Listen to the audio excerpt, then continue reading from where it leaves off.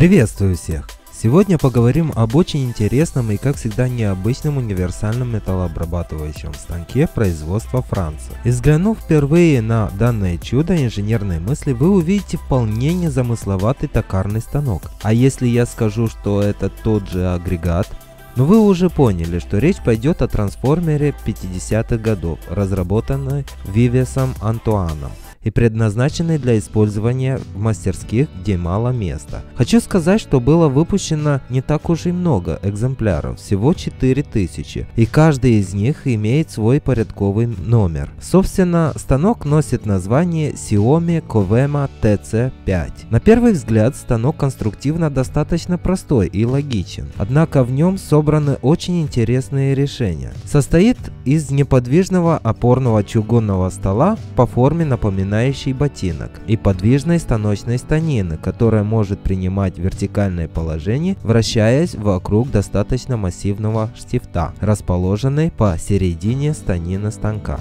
Данная трансформация может быть осуществлена, раскрутив 4 болта, которые вполне устойчиво фиксируют станину в горизонтальном положении. Для облегчения процесса превращения токарного станка во фрезерный и обратно, в неподвижной ножке станка находится тяжелый противовес, который соединяется со станиной при помощи роликовой цепи. Для придания жесткости станка в вертикальном расположении станины устанавливается еще один упорный кронштейн.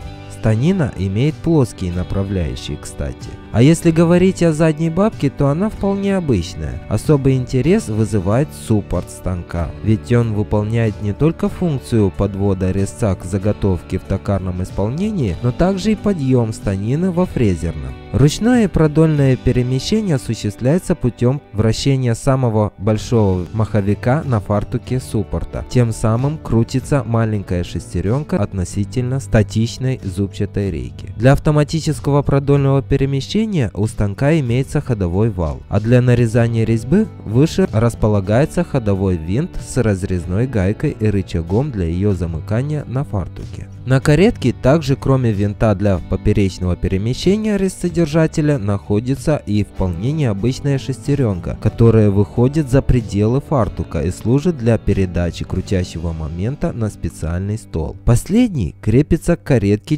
четырьмя болтами на Т-пазы. Прикрепленный фрезерный стол имеет собственный винт и рукоятку для продольного перемещения стола. Автоматическая подача данного стола в продольном направлении осуществляется при помощи вышесказанной шестеренки, вращение которой включается прокруткой необычного эксцентричного рычага на поверхности фартука. Таким образом, у нас получается автоматическая подача по двум координатам. Фрезерный стол имеет вполне обычные Т-пазы для крепления оснастки. И вот сейчас у тех, кто внимательно смотрел и слушал, должен появиться вполне логичный вопрос, ведь у фрезера плоскость стола должна быть перпендикулярна плоскости станины. И вот для этого в комплекте есть вот такой массивный кронштейн, который крепится одной плоскости к суппорту, а на другую фиксируется фрезерный стол. Крутящий момент при автоматической подаче фрезерного стола передается посредством двух шестерен на боковой поверхности кронштейна. Передняя бабка также не вполне обычная, так как она вместе со всеми механизмами станка может подниматься на нужный уровень относительно станины. Для этого есть специальный винт с рукояткой.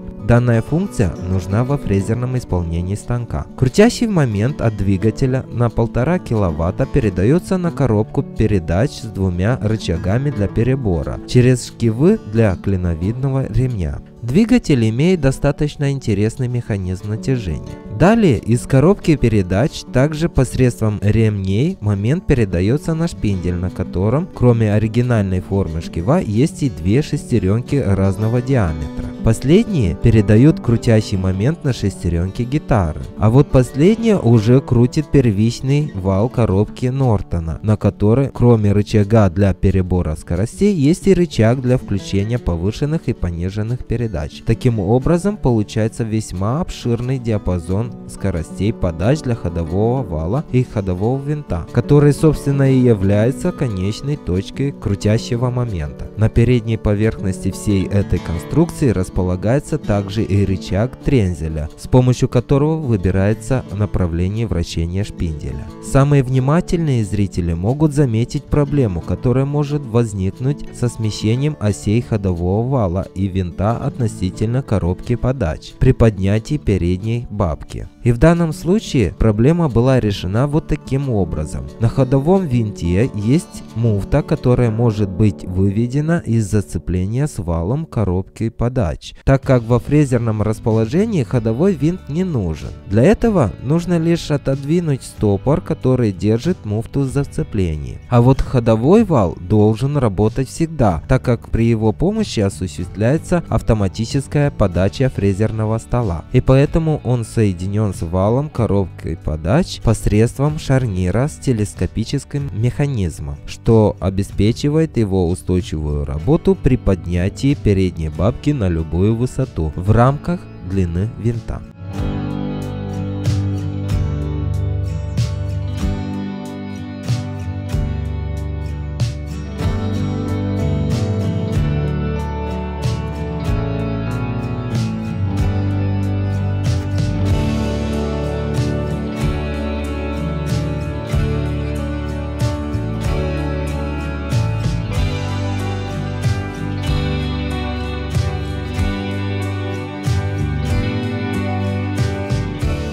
Спасибо всем огромное за внимание, всем пока.